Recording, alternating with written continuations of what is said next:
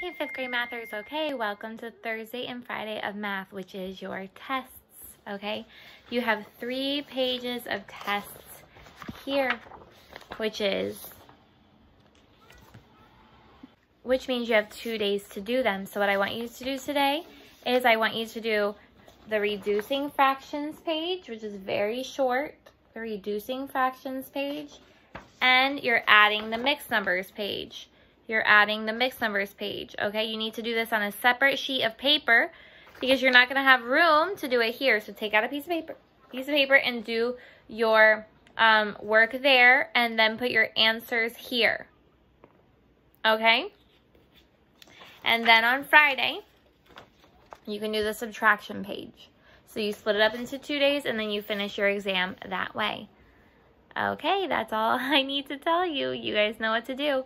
Make sure on the reducing fractions that you either use one of two ways, right? You can either start dividing by two or three and then keep going until you're done, or find your greatest common factor. And then on your adding and subtracting, make sure you find your common denominator first. So how do you need to do this? Remember, when you're adding and subtracting, look at number one for adding right here. The very first thing you need to do is do 5 and 2 fifths plus 6 and 1 half. You have to write it like this, right?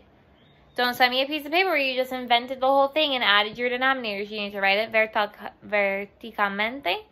You need to put your common Denominator, remember what you do. 5 and 2. 5 is the biggest one. Can you do 5 divided by 2? No. So, okay, 5 times 2 is 10. Can you do 10 divided by 2? Yes. So 10 is your common denominator, okay? In subtracting, let me show you the number one of subtracting. 8 and 3 fourths by minus 4 and 2 fifths. Okay, what do you need to do? 5 is your common is your biggest denominator. 5 divided by 4, is that possible? No. 5 times 2 is 10. 10 divided by 4 possible? No. 5 times 3 is 15.